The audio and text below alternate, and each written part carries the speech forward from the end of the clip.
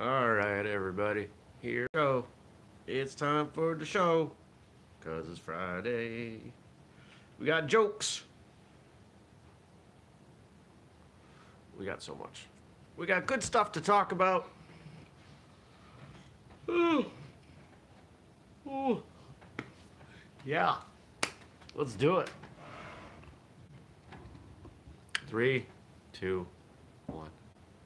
Good morning, everybody. Welcome. Today is Friday, March 6th, 2020. My name is Jeremy, and this is my first cup of coffee. I wonder if I should keep saying that. Is it cheesy? Yes. But I think it's the good kind of cheesy. Like pizza. Pizza's the good kind of cheesy. Cheese is pretty good. I had pizza last night for dinner. Oh, man. well, what was yesterday? Yesterday was full of clients. I was with one client for five hours. Yeah. And in between was doing a lot of emails, a lot of whistlekick stuff going on in between and in the background. And I think one of the big things I'm thinking of right now, I had a call. There's a, a, a short-term lender we've worked with in the past. Now, honestly, most of these companies are eh, I don't want to call them shady, but most of them are shady. But we've worked with one in the past. And they reached out and they said, hey, you want to do something again? And I'm looking at it, and I'm looking at sales numbers that are the best they've been in nine months. And it's a combination of the products that we're reselling from, honestly, from other vendors and our own. And that's working. And I want to continue that, but I also want to get out of debt. So I don't know. I don't know which one we're going to do.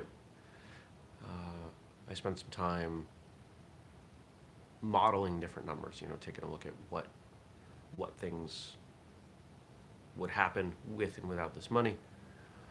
And there's no clear answer yet.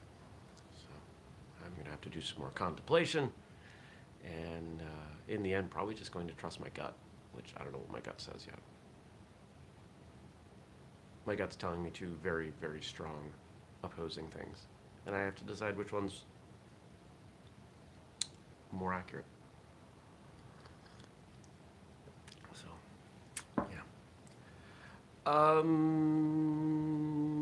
what else was yesterday? Not much. Clients, what was it? So today, today's Friday. Stacy says, feed your gut good food, treat it well. So today, uh, I'll be headed out to my my remote office, do a little more work for that client that hosts me there, and then I've got I've got phone calls. I got a bunch of stuff going on, so I'm gonna get there as early as I can, and it's probably gonna be a late day. Uh, I I will be surprised if I leave there before five, and uh, probably gonna head to Costco after. Half because I'm interested in what's going on there right now with uh, with everybody freaking out I kind of want to go see the chaos. So we'll see how that goes. And then this weekend, um, there's a seminar tomorrow that I may go to. Uh, James Keenan, who was on the show, great guest, is going to be a couple hours away, and I'm contemplating going to that. Um, so we'll see. We'll see if I do. I don't know figure it out. Sunday. No, just hanging out, friends, house, cleaning, prepping meals. Nothing particularly spectacular going on, but I need that. I'm Looking forward to sleeping in tomorrow on Sunday. I think it, it might be two days, it might be an entire weekend without an alarm clock, which would be remarkable. I haven't had a day like that in a while. So.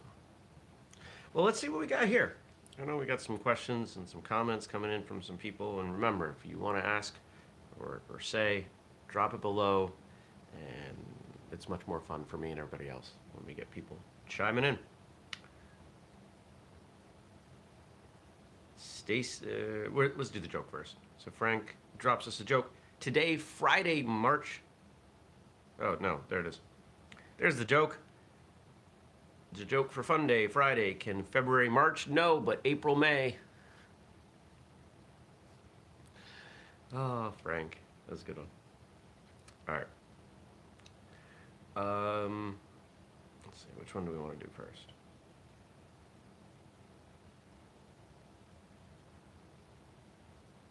Hmm, there we go.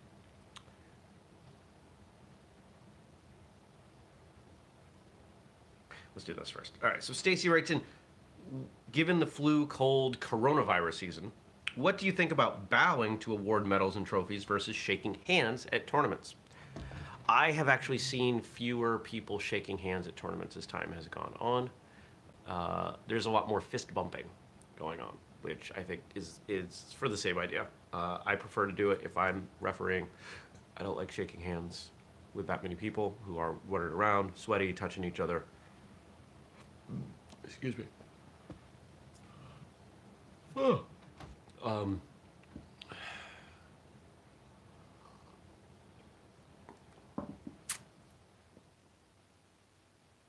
yeah.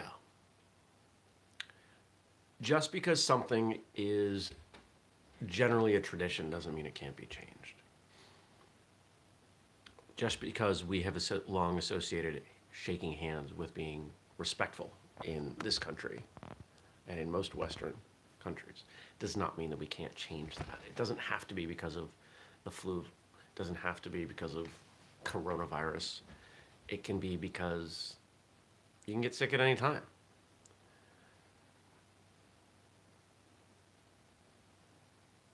I don't think there's anything wrong with bowing. I don't think there's anything wrong with not shaking hands. I think that given that the protocol in this country tends to be bow and then shake hands, bow and then something. If you don't want to touch, bow and then, you know, finger gun, uh, fist bump. What else could you do? I don't know. I, I just, I think, I think you got to add something because the bow because people are used to two elements of respect in that circumstance. So, yeah, and I don't think you need to explain yourself. I think people get it. Small children aren't going to care. Adults should understand. Might there be some person who thinks it's disrespectful? Yeah, but that's their problem. It's not like you're not bowing. It's not like you're withholding an overall uh, expression of respect. So, yeah. As far as I'm concerned, don't shake hands. Don't shake hands with anybody, ever. I'm just kidding. That's not right. That's not true. All right. We got a couple more.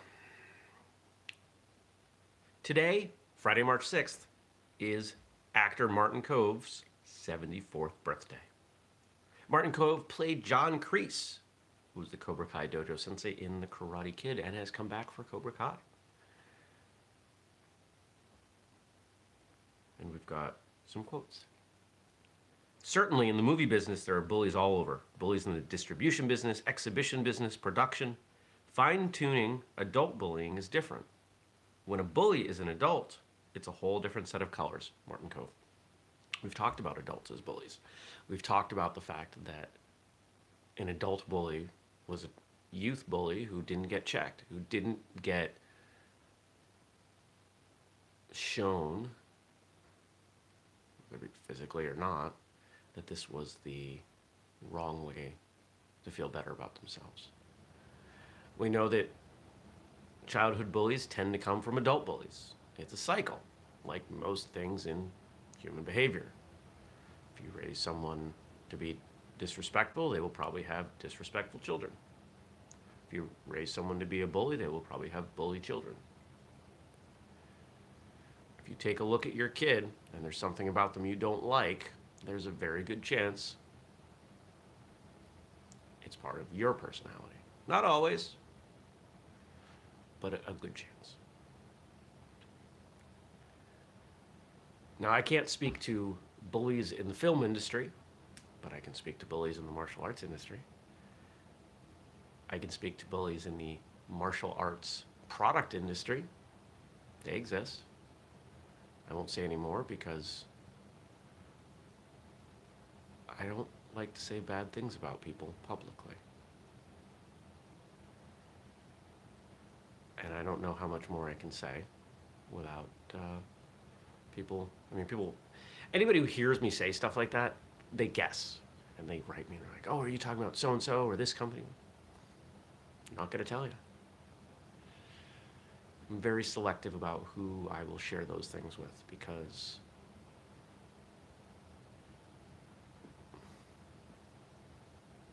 it just doesn't feel like the right thing to do. If I'm going to talk about things, I'm going to talk about positive things. I'm going to talk about what we're doing. Going to talk about how we're moving forward, how I'm trying to work harder, how I'm trying to improve things, not who's trying to get in our way and, and how people are um, attempting to stifle what we're doing. That's on them. It's not on us.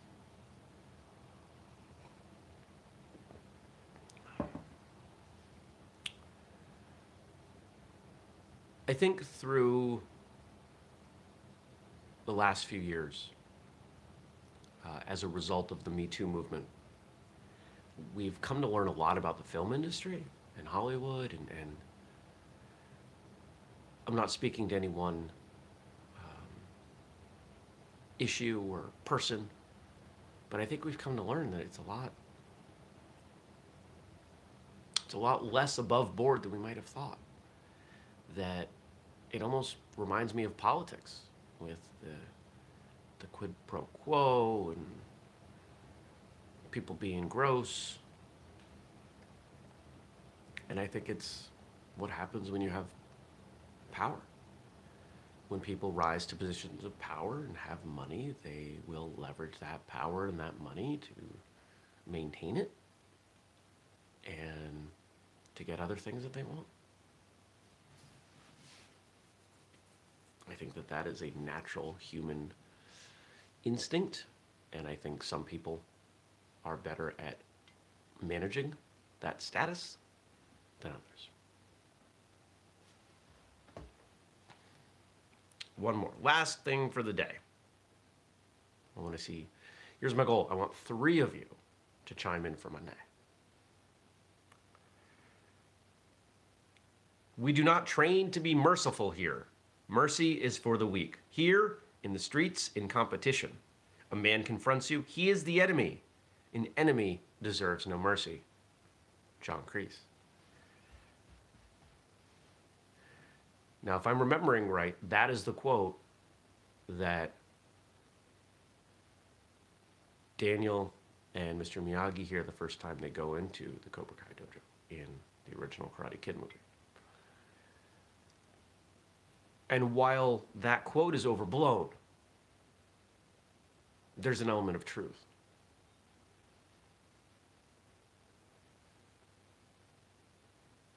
How many times have you watched someone in competition be too nice in sparring? How many times in training have you watched someone, especially a newer student, hold back far more than they should? because they're afraid of their own skill or their own strength. It happens. And it happens in life. It happens outside of training. It happens outside of competition.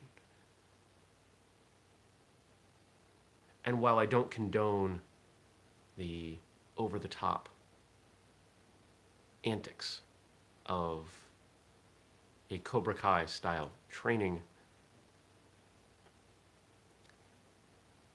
through every joke or sarcasm, and, and that's a sarcastic element, you know, the way that was included there, because it is so over the top. There's an element of truth. And I think now, with the Cobra Kai series on YouTube, and hopefully you've all watched that because it's utterly amazing. I think we get the opportunity to see another side. We get to see that things are not always black and white.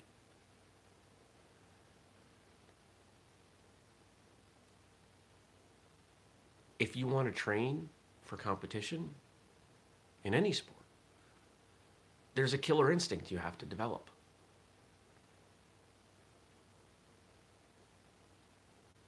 Life doesn't give you the benefit of the doubt. Life is hard. Which is why when I see youth sports teams and the scores are grossly lopsided, you know, 47 to 4 at a kids basketball game, I know somebody's doing something right there. There are a lot of lessons coming out of that.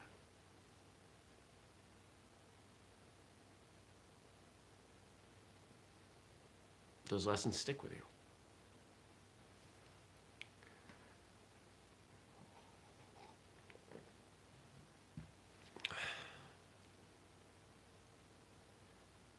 I'm not saying you should be the next Johnny Lawrence.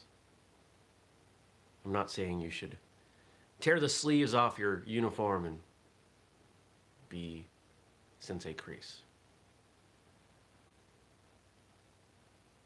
But sometimes we need to challenge the people that we're teaching. Sometimes we need to learn to be a little more aggressive. Sometimes we need to Stop being afraid of being dominant.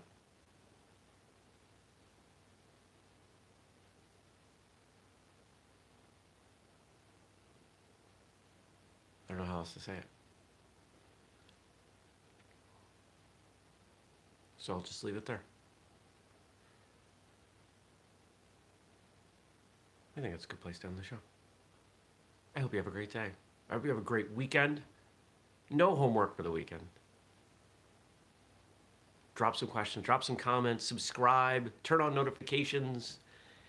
If you get a chance, check out yesterday's episode of Martial Arts Radio where Josh Blum and I reviewed, commentated on that fight scene.